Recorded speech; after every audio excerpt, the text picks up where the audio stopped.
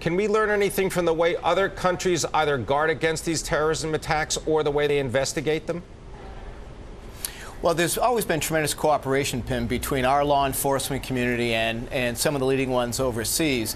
The sports security is a very challenging, uh, challenging concept for us because we do really well in enclosed environments, in stadiums and arenas. But when you're looking at a marathon course, I ran Boston in 2010, 2011. You have 26 plus miles of area to secure.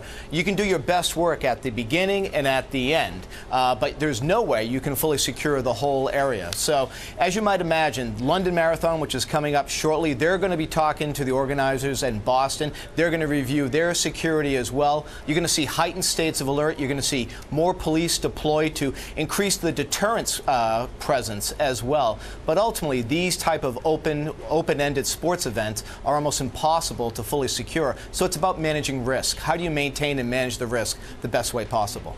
Tim Screen, managing risk, does this also mean increased identification, increased screening of individuals that would attend events such as this? Definitely. Uh, people coming in the area, you want to try to get a grasp on who's going to be in there.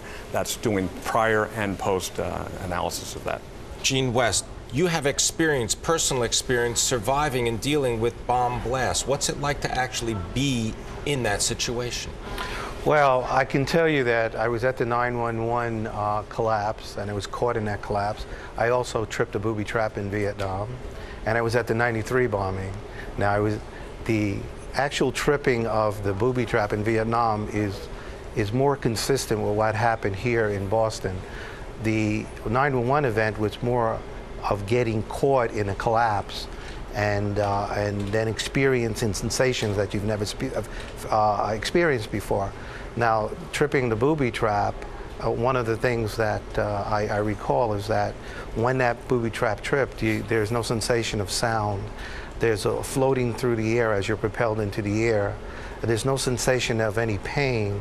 And, and soldiers in Vietnam knew when they hit the ground and they came uh, out of that explosion event is to check for all their limbs and to see if they were still there because again there's no sensation of, uh, of pain and the first thing you want to know if your legs are there your hands are there and some of these people in Boston experience that type of sensation I'm sure that some of these people who suffered these amputations may not even been aware that they had lost a limb and that, that sort of hit home for me when I saw that. Now the 911 collapse was something different.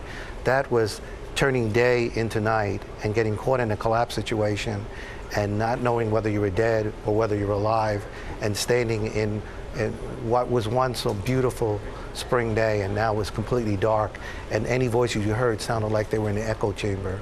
And that's what I teach some of my students at the FBI National Academy. I, I show them that film and then and then I gave them that firsthand experience. But the Vietnam experience was more consistent with what happened in, in, in Boston. Does every uh, event such as this, every explosion, have its own signature? Yes, but you got to understand there's, there's two types of signatures. First of all, there's the signature of the explosion. There are certain things that certain explosives do, but there's also the signature of the bomb maker. So we're looking for two type of signatures here. But the explosion has its own signature. And in part, I gave you a little bit of what the signature of this type of event was.